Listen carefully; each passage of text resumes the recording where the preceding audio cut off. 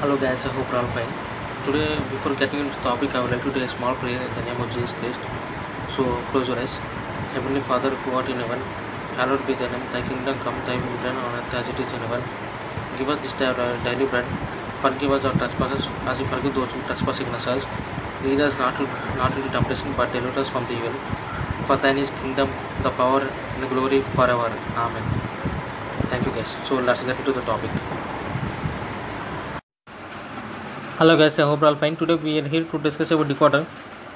The compression circuit that changes the bind information into 2 to the power of n output lines is known as decoders. So the first step is like 3-line uh, to 8-line decoder. If you observe here, this is the block diagram of 3-line uh, to 8-line decoder. If you observe here, these are all inputs, whereas this is the enable input, these are all outputs.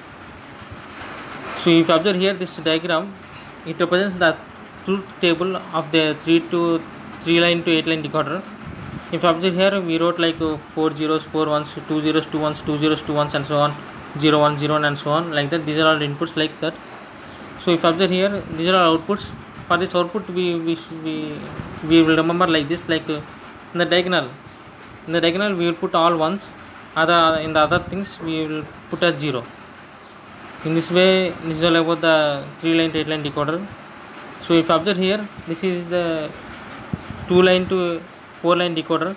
This is the block diagram of 2-line to 4-line decoder. If you observe here, there are 2 inputs, 4 outputs, whereas one enable input. If you observe here, this is diagram.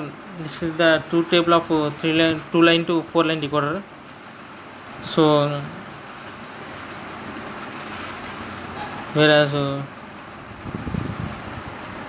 the next one is like 4-line uh, to 16 decoder from by using three line to eight line decoders we will uh, we will create like four line to six line decoder if you observe here these two are three line to eight line decoders I, I, I have already explained it to you so by combining these two like this 4 line to 16 line decoder is formed so this is the truth table of uh, 4 line to 16 line decoder it is like 8 zeros 8 ones 4 zeros 4 ones 4 zeros 4 ones 2 zeros 2 ones 0 0 like that yeah, whereas the decimal output is like d0 to d15 will write so we can also create a 4 line to 6 line decoder by using a 2 line to 4 line decoder if you observe here these are all 2 line to 4 line decoders so by combining these all things like this we will we can create like a 4 line to 16 line decoder this is all about the decoders